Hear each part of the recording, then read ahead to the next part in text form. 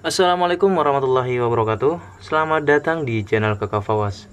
Di video kali ini gue bakal buat video mengenai 5 fitur unggulan yang ada di Oppo A5 dan Oppo A9 2020 hmm, Kelima fitur yang akan saya sebutkan ini adalah fitur baru di perangkat Oppo ya Dan dimiliki oleh Oppo A5 dan Oppo A9 Meskipun salah satunya sebenarnya sudah pernah digunakan di Oppo sebelumnya yaitu Oppo Find X.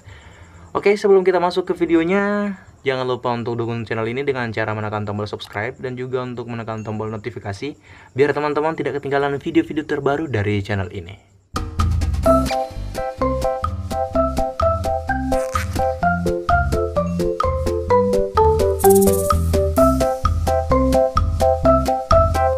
Oke, fitur yang pertama yaitu fitur stiker di kamera. Jadi di Oppo A5 dan Oppo A9 2020 ini sudah ada fitur stiker di kamera. Stiker yang saya maksud adalah seperti ini. Jadi teman-teman langsung aja masuk di bagian kamera. Lalu masuk di bagian kamera depan seperti ini. Sekarang sudah berfungsi kamera depannya. Lalu masuk di bagian video. Nah, setelah masuk di bagian video, teman-teman langsung aja tekan bagian stiker. Stiker yang ini. Maka secara otomatis tampilannya akan seperti ini teman-teman bisa lihat di sini. Nah ini adalah stiker yang bisa dibilang uh, fitur yang bisa dibilang terbaru di perangkat Oppo A5 2020 ini. Dan di sini teman-teman bisa merubah karakternya. Jadi langsung aja tekan uh, bagian kuning ini ya. Di sini lalu geser ke paling kanan. Nah di sini teman-teman bisa merubah karakternya dari karakter bebek ke naga ke apalagi ini ya. Pokoknya di sini bisa beda bisa rubah karakternya dan uh, ini bisa menjadi foto dan juga bisa menjadi video. Caranya biar menjadi video teman-teman tekan lama untuk mengambil video seperti ini. Lalu teman-teman silahkan uh, berbicara seperti ini ya. Halo selamat datang di channel kakak Fawas. Di video kali ini nah seperti itu contohnya maka secara otomatis yang tadi akan menjadi video. Halo, selamat datang di channel Kakak Fawas. Di video kali ini, nah seperti itu contohnya. Oke, itu adalah fitur yang pertama yang menurut saya keren banget di Oppo A5 dan Oppo A9 2020. Fitur yang kedua yaitu Dolby Atmos speakernya, dual speaker Dolby Atmos. Nah, di Oppo A5 2020 dan Oppo A9 itu sudah dilengkapi dengan dual speaker Dolby Atmos. Teman-teman bisa lihat di bagian atas.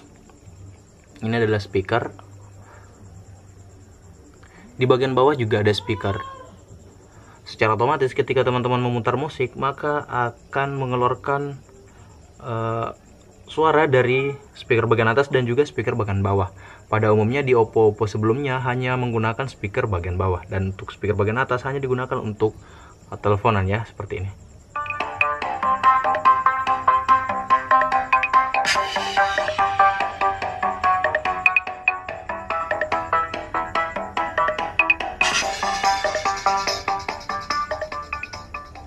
Nah, meskipun sebenarnya di mode Dolby Atmos speaker ini yang yang mendominasi adalah speaker paling bawah ya. Tapi speaker paling atas ini juga membantu dan juga menambah volume dari uh, handphone Oppo A5 dan Oppo A9 ini. Selain itu di Dolby Atmos speaker teman-teman juga bisa merubah uh, karakter genre musiknya ya. Teman-teman langsung aja masuk di bagian pengaturan, lalu masuk di bagian suara dan getaran, lalu geser ke paling bawah di sini ada efek suara global Dolby Atmos. Teman-teman langsung aja masuk. Nah, di sini teman-teman bisa merubah untuk karakter suaranya, bisa oh, sorry, efek suaranya ke cerdas, teater, game ataupun musik. Sesuai pilih sesuai selera teman-teman. Dan ini suaranya agak beda-beda sih ya.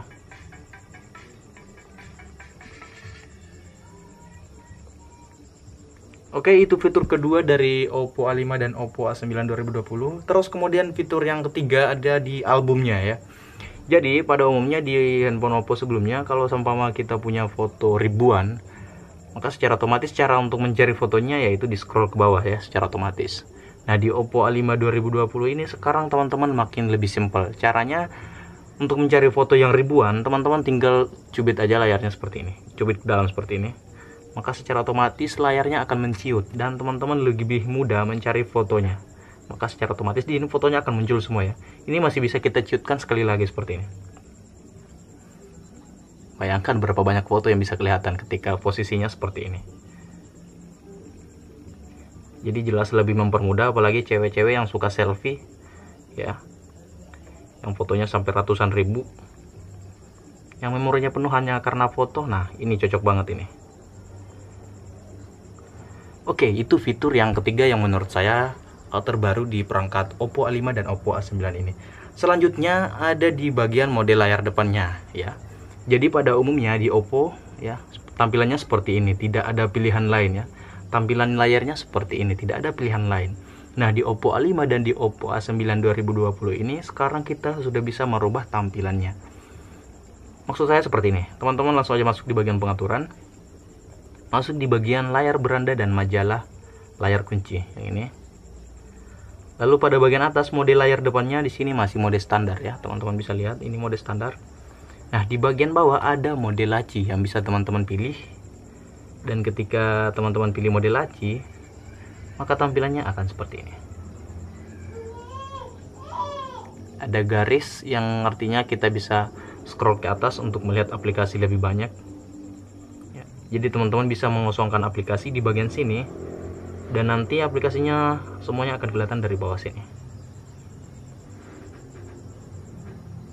Oke benar kan? Ini fitur baru di Oppo apalagi di Oppo A5 dan Oppo A9 2020 oke fitur kelima ini yang menurut saya paling keren ini Oppo A5 ini dan Oppo A9 ya pastinya ya punya fitur yang namanya kenyamanan digital.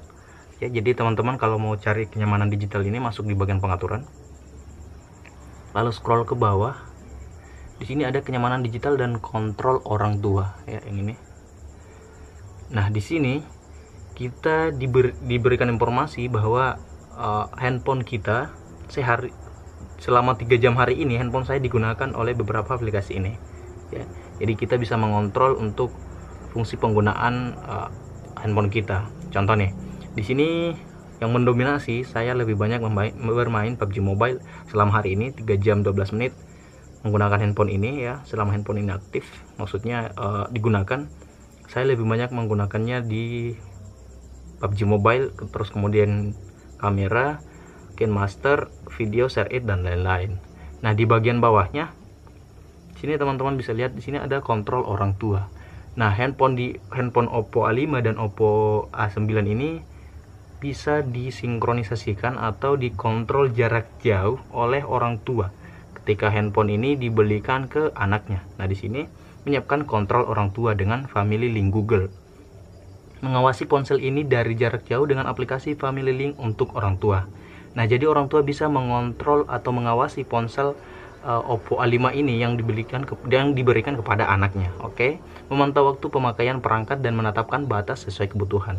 Jadi ini menurut saya paling mantap ini aplikasinya, fiturnya. Jadi kita bisa mengontrol penggunaan handphone dan juga membatasi sekaligus memantau uh, dan menetapkan apa namanya uh, waktu sesuai dengan batas batas waktu sesuai dengan kebutuhan anak kita. Terus kemudian yang ketiga menambahkan batasan ke layanan Google seperti persetujuan aplikasi atau filter konten di Google Play. Jadi anak-anak ketika menggunakan handphone Oppo A5 teman-teman bisa mengontrol aplikasi apa saja yang digunakan oleh anaknya di handphone Oppo A5 ataupun Oppo A9. Jadi kalau kita masuk di sini akan ada pilihan siapa yang akan menggunakan perangkat. Nah, ketika ini handphone uh, handphone ini akan digunakan oleh anaknya silahkan pilih anak atau remaja tapi ketika yang menggunakan ini adalah orang tua silahkan pilih bagian orang tua ya. Nah, contoh nih saya pilih orang tua. Nah di sini saya sudah download aplikasinya. Uh, seperti ini agak lama sedikit ya. Oke pokoknya seperti itu fitur unggulan yang ada di Oppo A5 dan Oppo A9 versi saya. Karena memang fitur-fitur ini jarang banget ada di uh, eh, HP Oppo sebelumnya. Yang ada cuma tadi ya stiker di kamera itu pun ada di eh, handphone flagship atau handphone high end tipe atas Oppo yaitu Oppo Reno eh, oh, sorry Oppo Find X Oke, terima kasih sudah menonton video ini. Jangan lupa untuk terus dukung channel ini dengan cara menekan tombol subscribe dan juga untuk menekan tombol notifikasi biar teman-teman tidak ketinggalan video-video terbaru dari channel ini. Terima kasih sudah menonton video ini dan sampai jumpa di video selanjutnya.